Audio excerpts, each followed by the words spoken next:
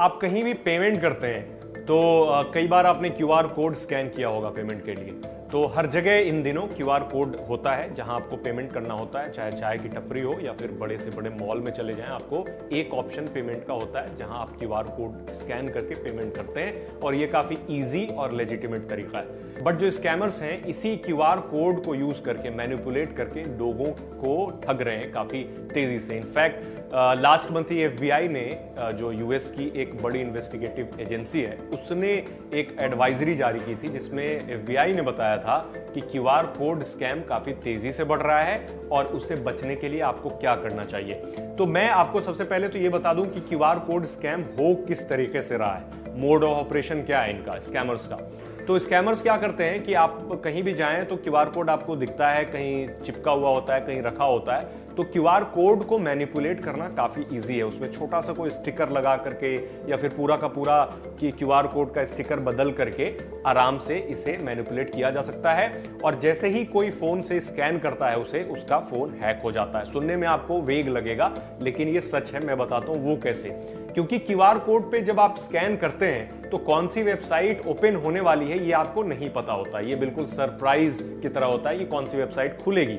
तो जैसे ही कई बार ऐसी वेबसाइट्स को डिज़ाइन किया जाता है कि वो सिर्फ़ आपके ब्राउज़र में जाकर के ओपन होने के बाद ही जो आपके फ़ोन का डेटा है या फिर जो सेंसिटिव लॉगिन क्रेडेंशियल है, वो फिच करके हैकर को भेज देते हैं वेबसाइट। कई बार ऐसा होता है कि आप जैसे वेबसाइट ओपन करने के लिए या फिर आप नॉर्मली कोई क्यू आर कोड स्कैन कर रहे हैं, लेकिन आपके फ़ोन में मेलवेयर डाउनलोड हो सकता है ऑटोमेटिकली बिना किसी चीज़ को क्लिक किए हुए।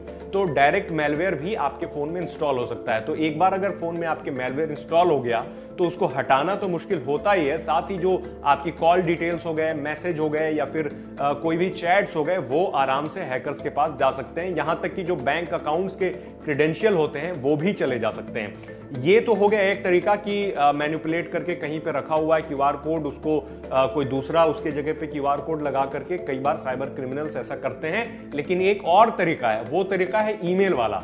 तो इन दिनों आपने नोटिस किया होगा कि जीमेल पे कई सारे टैब बने हुए होते हैं, जिसमें जो सोशल वाले टैब अलग होते हैं स्पैम वाले टैब अलग होते हैं, या फिर जो भी आपको ट्रांजैक्शन अलर्ट होता है, वो एक अलग टैब में आता है। तो उसी तरीके का जो प्राइमरी टैब है, वो आपके लिए ज़रूरी होता है। आप जीमेल ओपन करते हैं तो प्राइमरी टैब को ही ओपन करते हैं। तो प्राइमरी टैब में आप नोटिस करते होंगे कि वहाँ पे ज़्यादा स्पैम के मेल्स नहीं आते हैं। लेकिन क्यूआर कोड से जो स्कैम हो रहा है, वो प्राइमरी टैब पे आ रहा है। वजह यह है कि क्यू कोड के अंदर वो जो वेबसाइट उन्होंने लगा रखी है, जो मलिशियस वेबसाइट है, जिसमें जिसको साइबर क्रिमिनल्स ने तैयार किया है, वो आराम से प्राइमरी टैब में आ सकता है, क्योंकि वो क्यू कोड के अंदर है, वो डायरेक्ट लिंक नहीं है।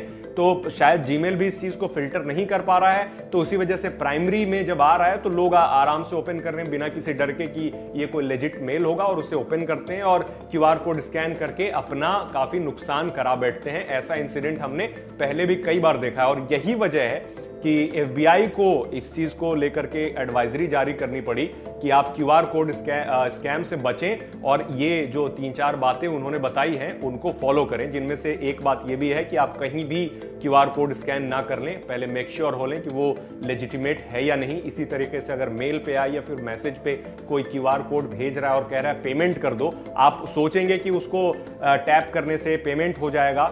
लेकिन ऐसा नहीं है। कई बार आपके फ़ोन में मेलवेयर भी इंस्टॉल हो सकता है। और सबसे बड़ी प्रॉब्लम यह भी है कि इन दिनों सिर्फ़ कैमरा ऐप ओपन करते ही क्यूआर कोड स्कैन हो जाता है और वहाँ पे आपको एक वेबसाइट का नाम दिखता है। तो वो भी आप देखें कि कौन सी वेबसाइट का नाम दिख रहा है। क्लिक करने से पहले किसी किसी ऐप में डायरेक्ट क्यूआर कोड स्कैन करने से ही वो वेबसाइट लोड होने लगती है और आपको तब पता भी नहीं चलता है कि कौन सी वेबसाइट लोड हो रही है जब तक आप ऊपर टैब में यूआरएल बॉक्स में जाकर के नहीं देखते हैं। तो आप कुछ चीज़ों को ध्यान में रख करके क्यूआर कोड स्कैम से बच सकते हैं क्योंकि अभी हो सकता है कि ये अर्ली हो, क्योंकि लास्ट ही मंथ वो एफबीआई ने भी एडवाइजरी जारी करी थी कि यूएस में ऐसा हो रहा है। इंडिया में भी मैंने कई इंसिडेंट्स ऐसे सुने हैं। क्यूआर कोड स्कैम को लेकर के काफ़ी पहले मुझे याद है, एक दो साल पहले इसे लेकर के मैंने एक वीडियो बनाया था। लेकिन अब ये चीज़ तेज़ी से फैल रही है, क्योंकि बहुत सारे जो तरीके हैं हैकिंग के स्कैम करने के, वो लोगों को पता चल रहा है, लोग अवेयर हो रहे हैं। इसी वजह से नए नए तरीके जो साइबर क्रिमिनल्स हैं, वो लेकर के आ रहे हैं। तो आपको इन सब चीज़ों से बचना है, और मैंने जो बताया, उस चीज़ को आप